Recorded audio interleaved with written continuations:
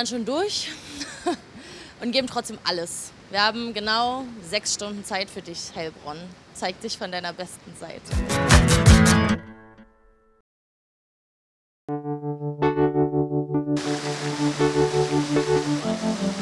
Hallo, Hallo, Heilbronn!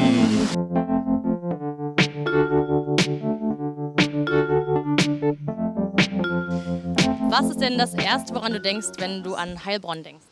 Ähm, an Shoppen gehen und an viele Baustellen.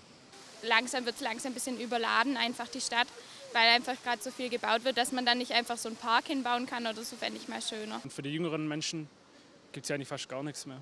dass es halt immer größer wird, Heilbronn, und dann sind hier mehr Menschen und dann gibt es mehr Konflikte und dann artet es halt schneller aus. Hier in Heilbronn hat es, denke ich, hat sehr viele ähm, äh, aus anderen Kulturen. Ich bin auch mit sehr vielen befreundet, ich verstehe mich mit denen gut. Kriminalität ist halt sehr hoch in Heilbronn. Und ja, die Sauberkeit lässt auch manchmal zu wünschen übrig.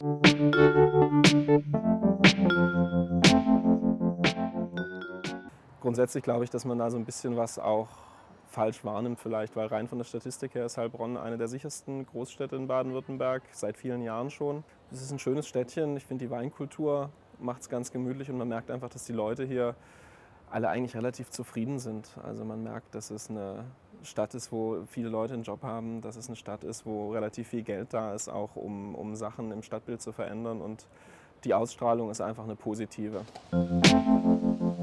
Ich denke, die Subkultur in Heilbronn ist relativ klein und tatsächlich schwach ausgeprägt. Es fehlt einfach an den Menschen, die hier leben, die sowas machen wollen. Es gibt hier viele Studenten, aber es gibt wenig geisteswissenschaftliche Studenten, die vielleicht mal die Uni Uni sein lassen und dann lieber ihre Zeit in so ein kreatives Projekt stecken wie vielleicht in Leipzig oder Berlin.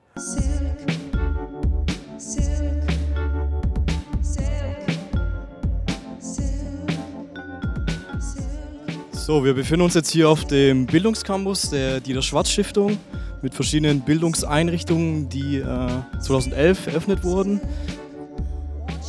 So, jetzt wo wir hier auf dem kleinen grünen Innenhof vom Bildungscampus in Heilbronn sitzen, würde mich natürlich vor allem interessieren, was die Hochschule so für eine Bedeutung für die Stadt hat.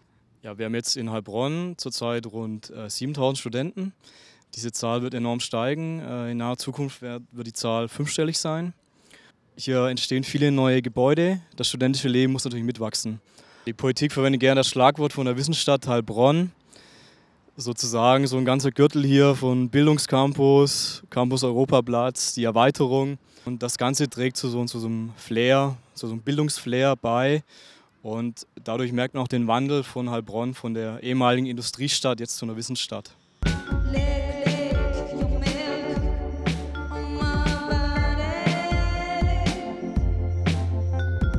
Wir sind gerade hier von draußen reingekommen. Euer kleiner Shop, erzähl mal kurz was dazu. Genau, das ist der Multimono Kaufladen und im Rahmen von dem Komplex 23, äh, von dem Hausprojekt, äh, ja, ist auch dieser Laden mit entstanden.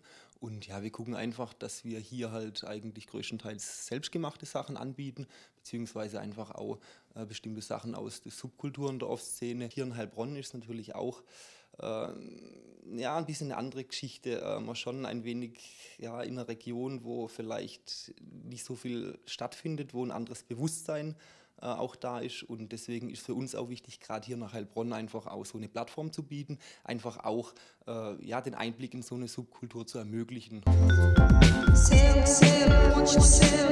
Äh, du hast das ja jetzt hier auch mitgegründet, das ganze, ähm, den ganzen Komplex.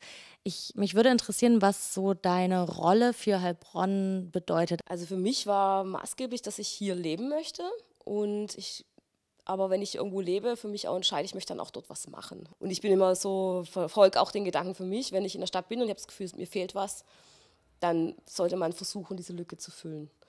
Also äh, zu sagen, ah, es ist, hier passiert nichts und ähm, ach, ich ziehe weiter, das ist für mich keine Lösung.